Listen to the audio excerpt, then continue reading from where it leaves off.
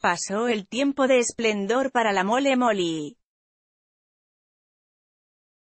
El exboxeador que supo brillar arriba del ring e incluso se consagró ganador de Bailando 2010, fue denunciado por Marta Graciela Galiano, más conocida como la Negra Molly. El polo de la mujer de la localidad cordobesa de Villa del Rosario informó que la mujer llegó, muy golpeada, este jueves y que el cordobés quedó imputado por la supuesta comisión de los delitos de lesiones leves calificadas reiteradas y amenazas reiteradas.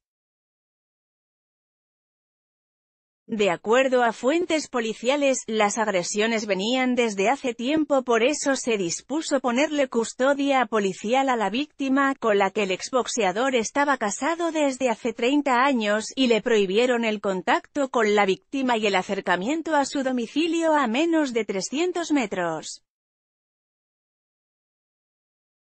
La policía judicial le realizó a la mujer estudios para determinar la entidad, cantidad y antigüedad de las lesiones que tiene y recibirá asistencia psicológica, según detalló el 12.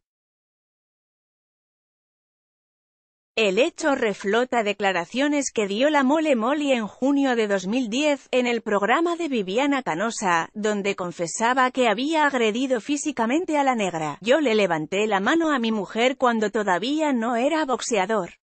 Pero ya dejé todo eso y hoy en día quiero darle tranquilidad, decía. Después de hacer eso, uno se levanta y ve que todo está hecho bosta y dice, la P. Madre, me cago. La negra nunca lo contó y jamás me denunció, pero se me fue y yo la fui a buscar enseguida.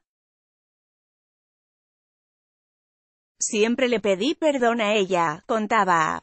Paré y me di cuenta de que esa no era mi vida y que quería que ella sea feliz.